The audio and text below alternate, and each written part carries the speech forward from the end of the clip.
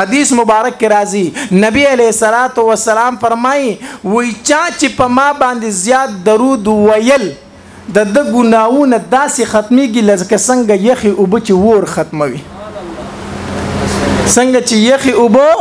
ور ختموي داسې درود په نبی عليه الصلاه والسلام باندې د انسان څخه ختمي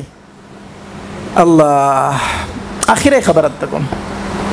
درود چې کله زیات ویل کنا ستا په دنیا کې هر مشکل ختميږي دا شاه ولی الله رحمه الله خو تاسو نه پیژنې خدا علماي پیژنې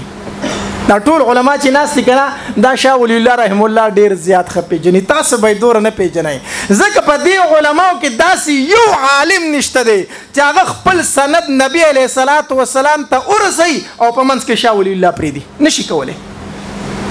کوم عالم چې خپل سند نبی علیه الصلاۃ والسلام ته رسي په منځ کې به ضرور استاد شاه ولی الله جوړیږي زه چې اوس خپل سند د حدیث راوالم کنه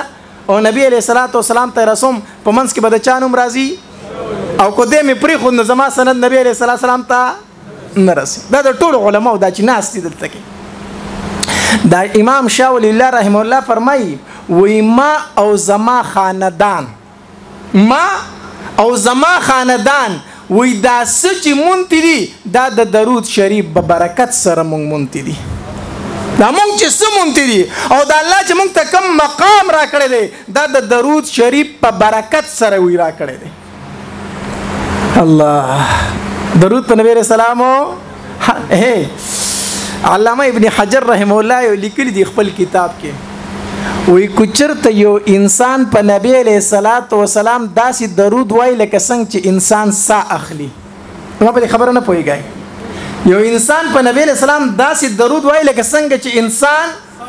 بیا مو دې د نبی علیہ الصلوۃ والسلام د احسانات او حق نشي پوره کوله بیا هم دې نشي پوره کوله خو د خپل وس موافق درود په چا باندې وایي په نبی علیہ الصلوۃ والسلام باندې